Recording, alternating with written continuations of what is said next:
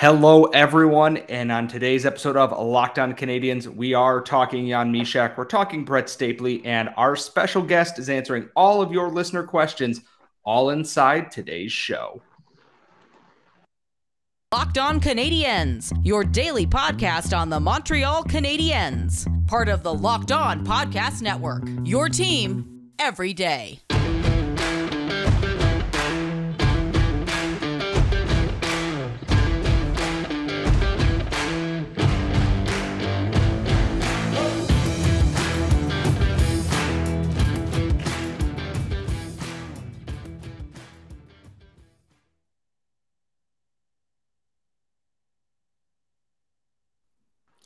Hello, everyone, and welcome to episode 679 of Locked On Canadiens. As always, thank you for making us your first listen of the day. If you're listening to this wherever you get your podcast, or if you're watching my shining face here on YouTube, uh, thank you for subscribing. Please subscribe. Remember, Friday, 7:30 p.m. I will be doing the Hot Ones Gauntlet and answering all of your questions in our live stream.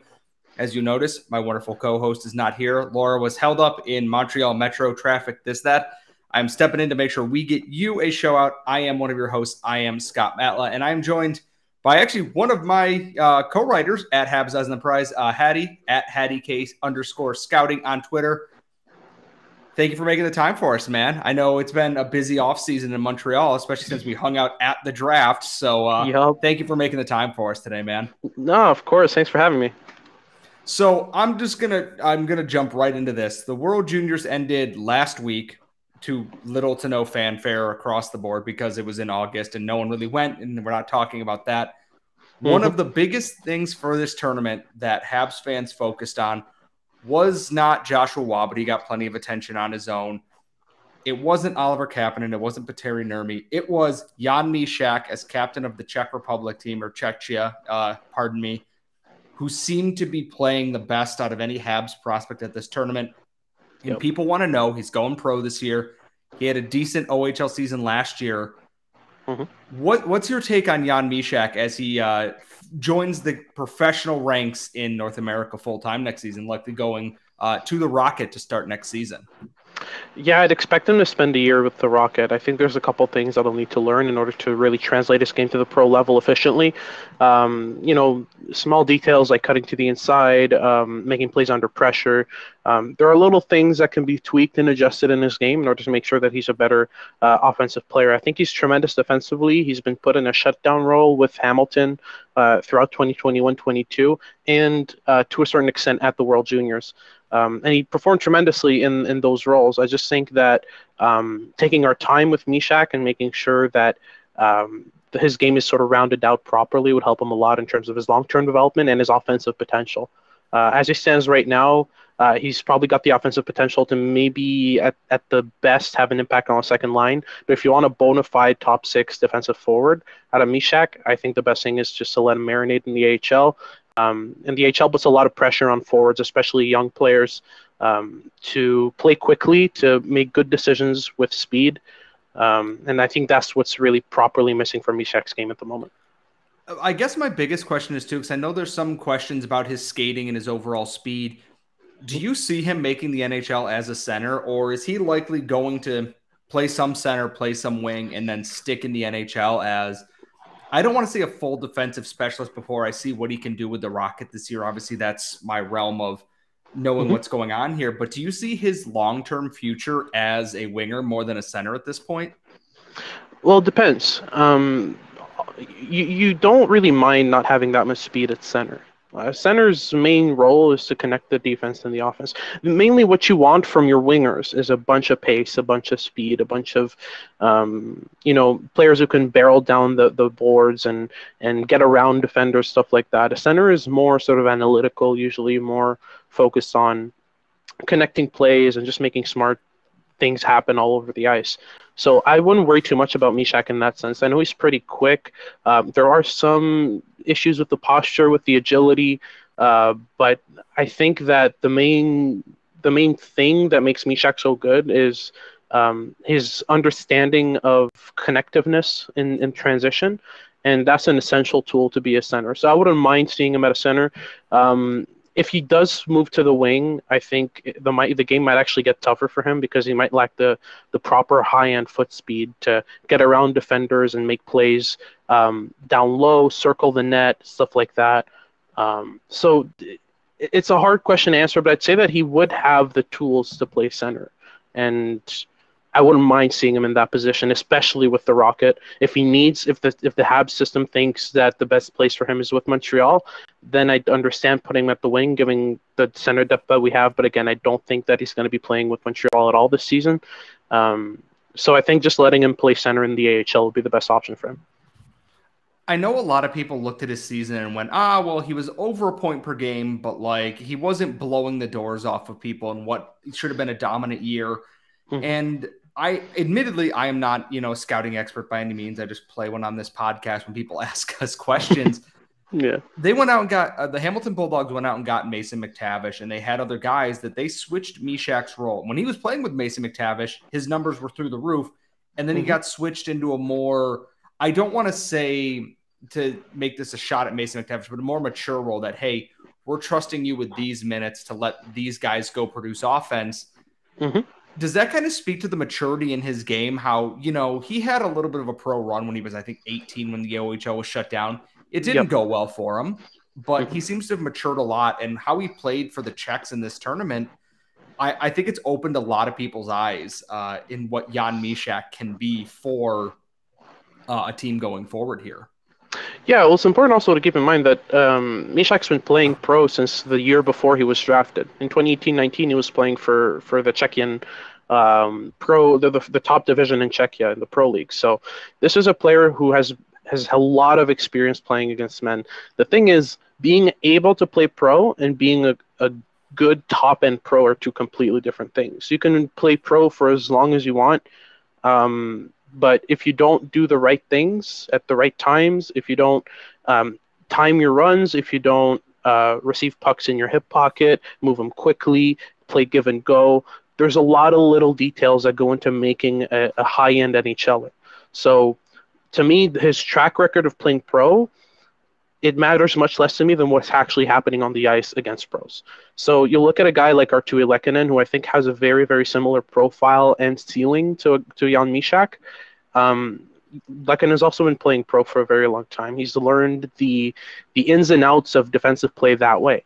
Um, on top of being a good scorer from mid range, and it's it's very similar to Mysak, where he doesn't necessarily get to the to the high end areas as much, um, and you know, is, is very good defensively, has decent skating, but nothing really pops out offensively.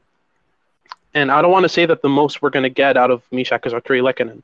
Even then, that would still be good. But there's a couple extra notches of offensive potential that can be uh, unlocked with a couple tweaks in his game.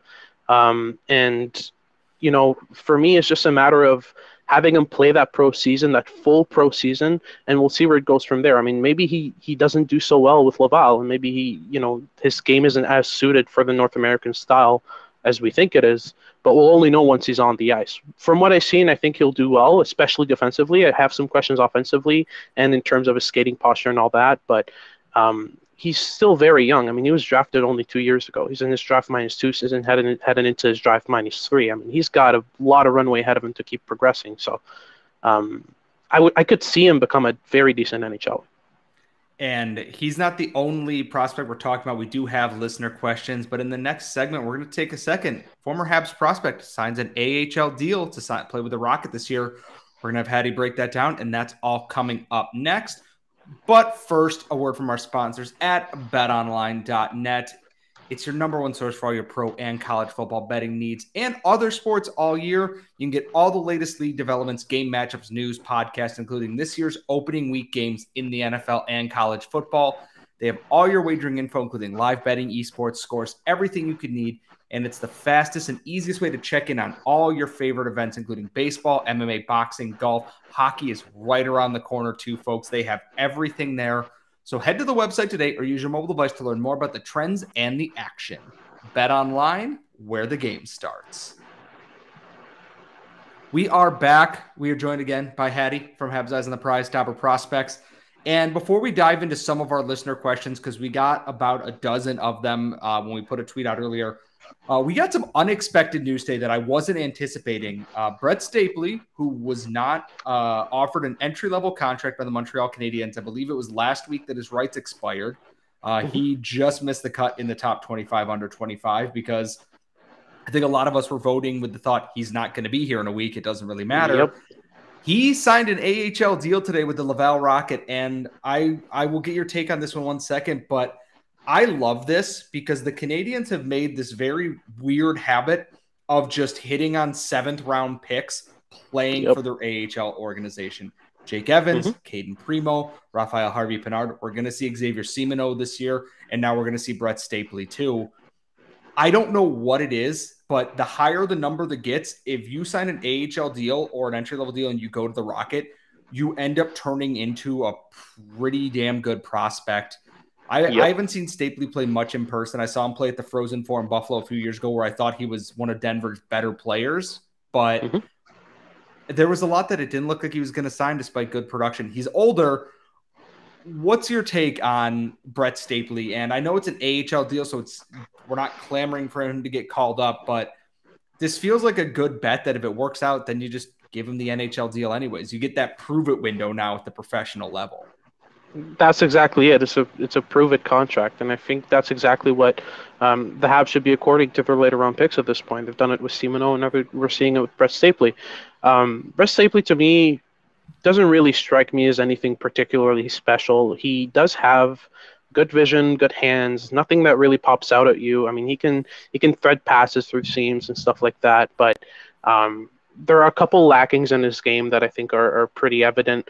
Um, first, his inside plays is almost non-existent. Um, he very rarely cuts to the inside and makes plays through checks. He usually uh, stays around the perimeter and, and threads passes through teams that way. Uh, the other main thing is um, I don't see him play under pressure very quickly either. I mean, this is a player that excels with open ice and a lot of you know puck possession time. And the higher up you go in the rankings, the, the the less time per puck touch you get. So that's always a concern when it comes to a player. If they excel with as much you know puck possession time as possible, as they climb the ranks, they're going to have less and less than that. And how do you excel at that point? It's all about adaptability at that point. And that's something I don't really know about Stapley is how necessarily adaptable he is. I mean, I he adapted pretty well going from the BCHL BCHL to the NCAA for one of the premier programs in Denver, but I mean, the NCAA to the AHL is already a massive step, but then you, you take that one step further with the NHL. And it's it's a lot of hurdles he needs to to go through in order to get to that level. But if you get anything out of this player in the seventh round in 2018, it's found money. Like there's there's nothing to lose in this scenario. So I have no problem against this this contract, and I really hope the the best out of Brett Stapley if we got a seventh round pick to, to become an NHLer, I mean, that would just be another in the long list. I mean, Harvey Pinard's probably a lock um, to become that, that next seventh round pick.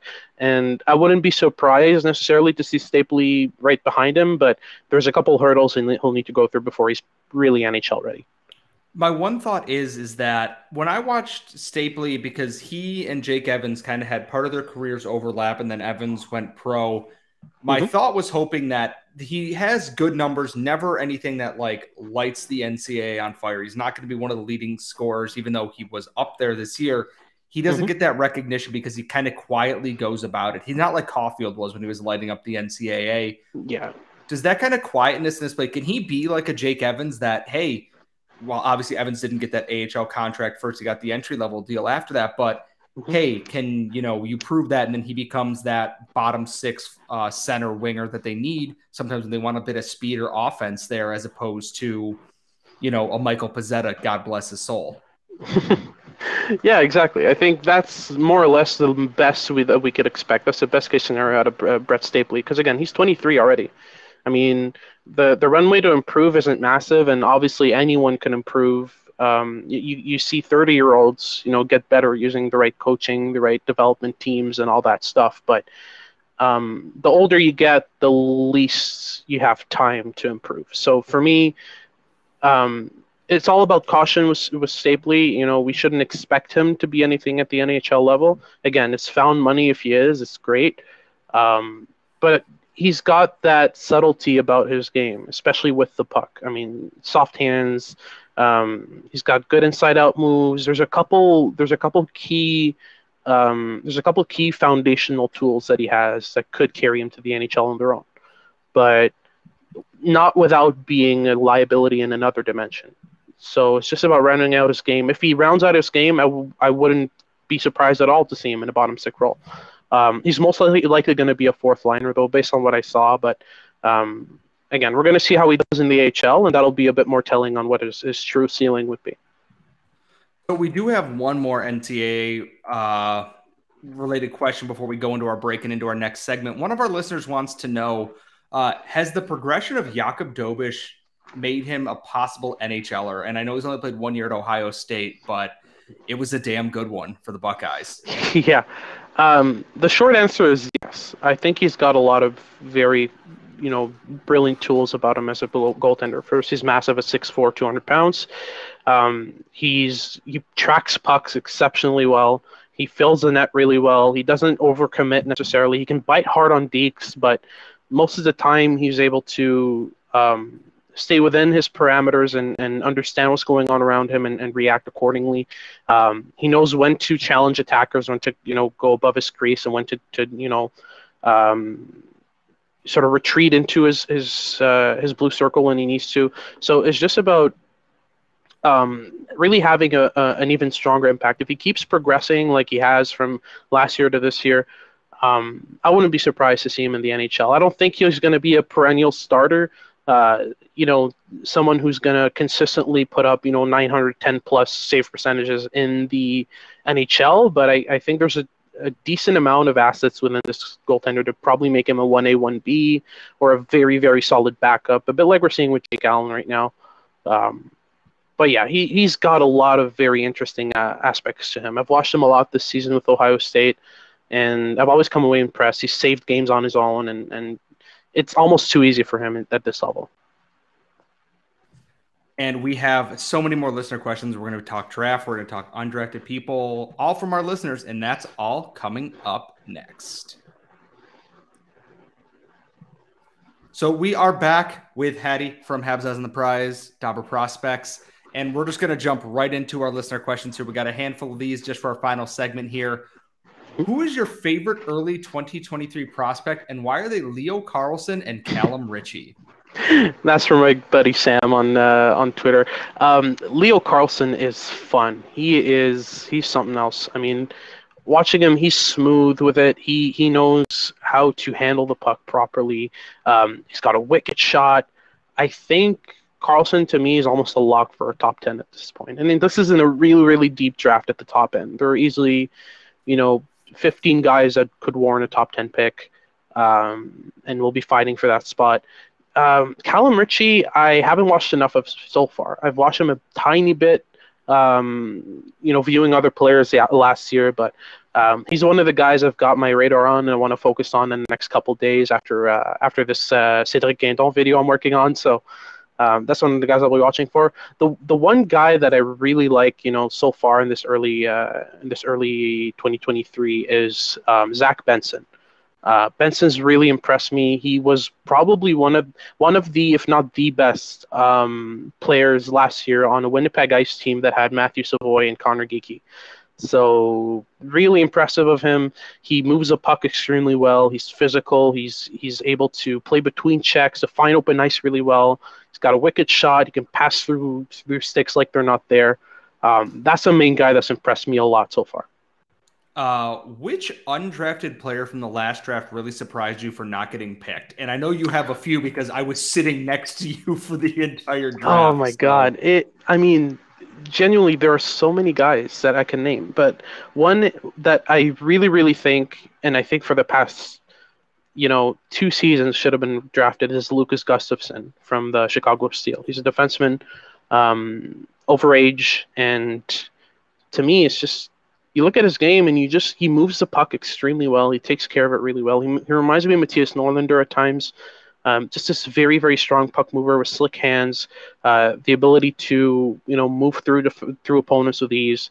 Uh, there's Tyler Duke, who honestly the only reason why he wasn't drafted is he's a five nine defenseman.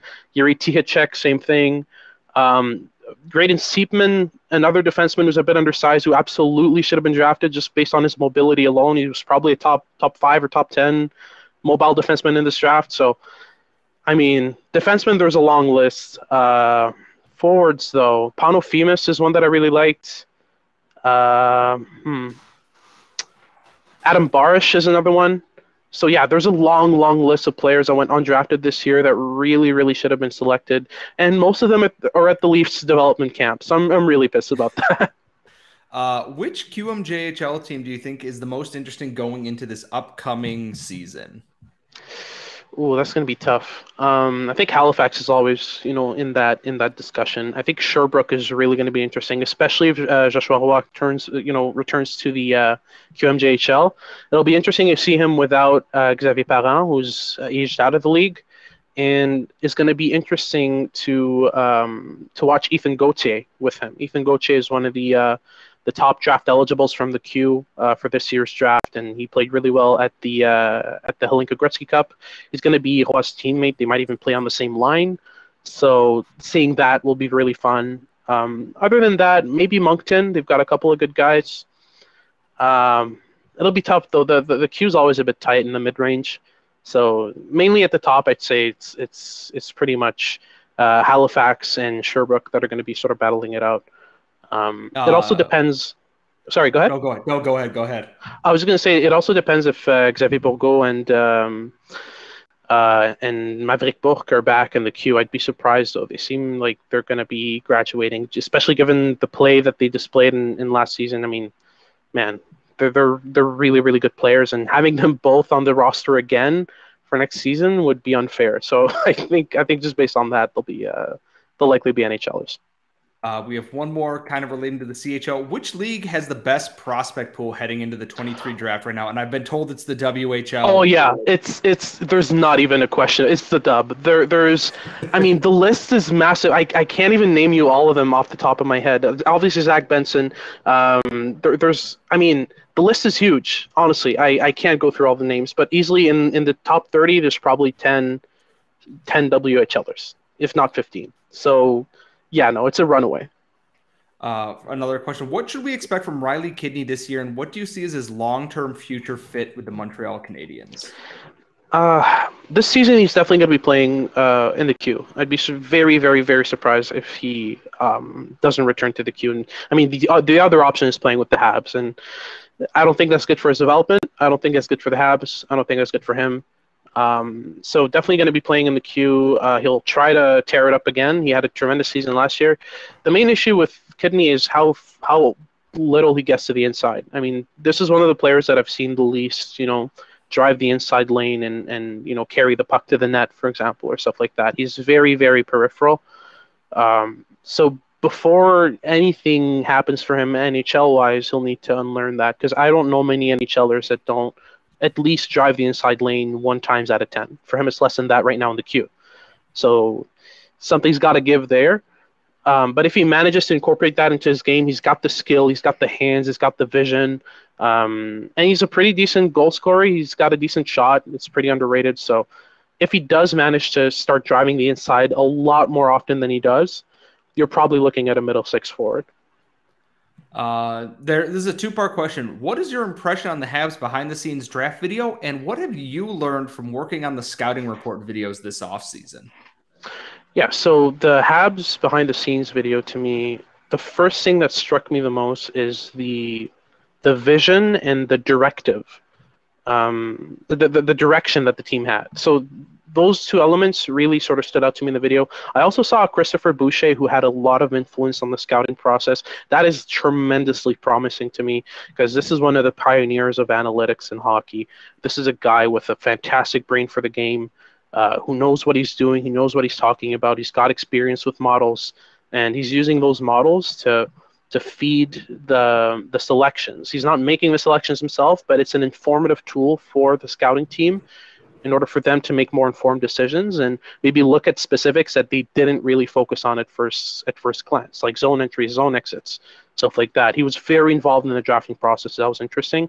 Um, one one specific thing he said that really struck me was um, when the Habs selected Slafkovsky, he said I'm paraphrasing here, but he said something along the lines of, "If that means we don't have to worry about size for the rest of the draft, I'm fine with that."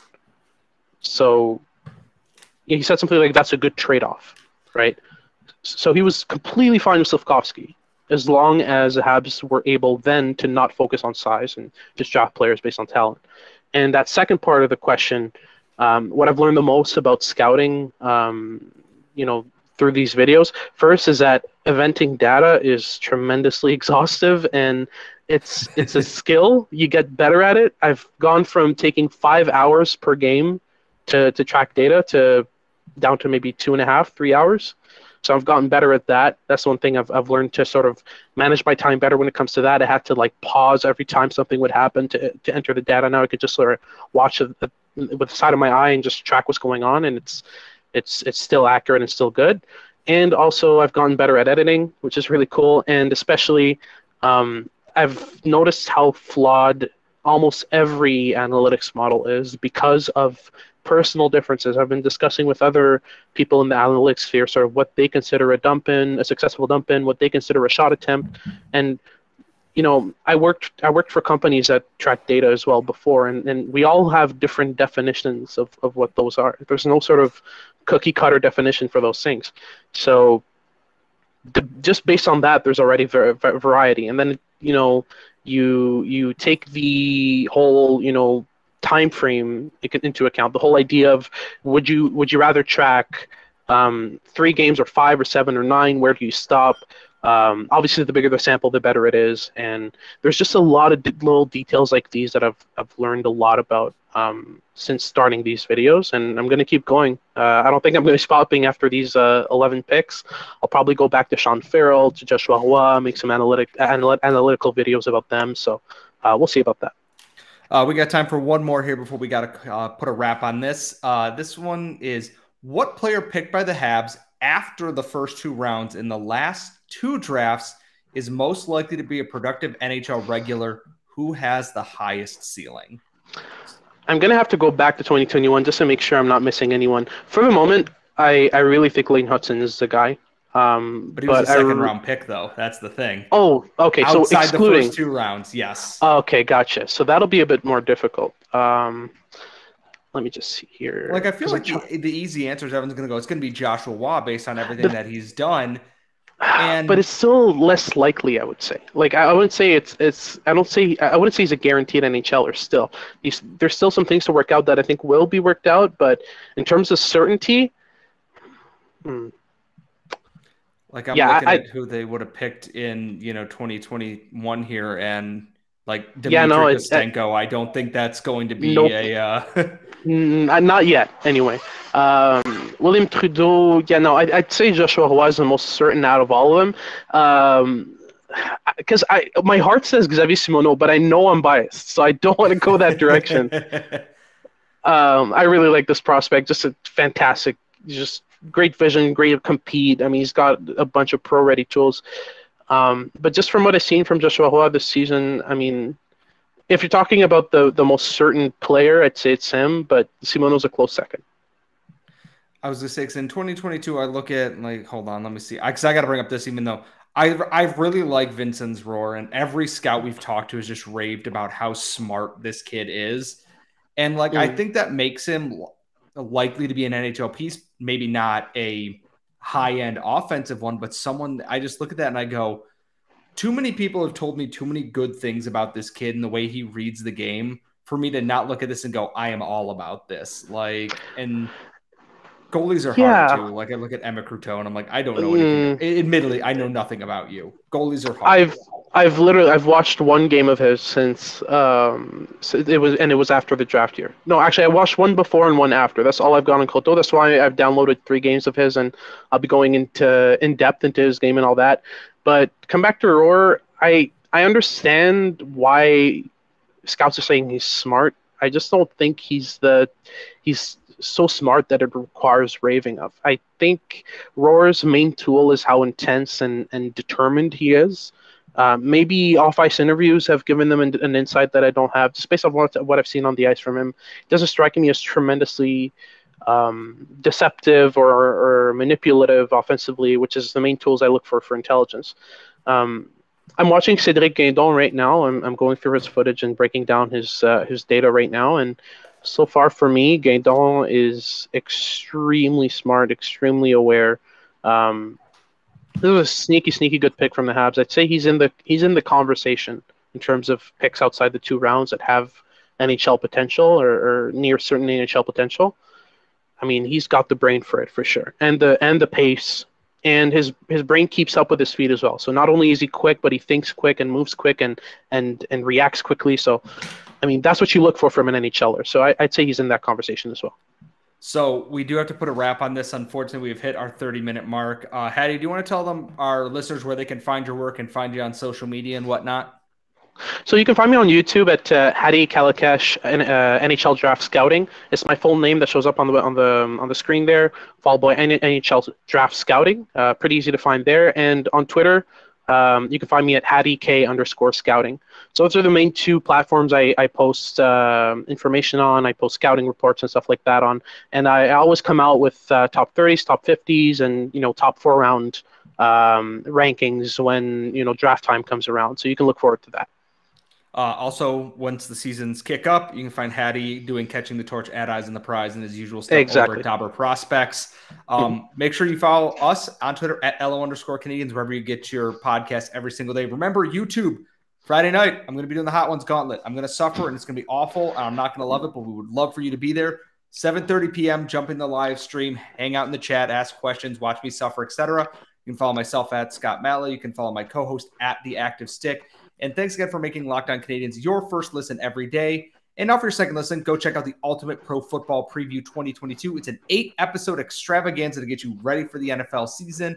The local team experts of the Locked On Podcast Network, plus a betting angle from Lee Sterling of Locked On Bets, all combining into one Ultimate NFL Preview. Search Ultimate Pro Football Preview 2022 on your Odyssey app, YouTube, or wherever you get your podcasts.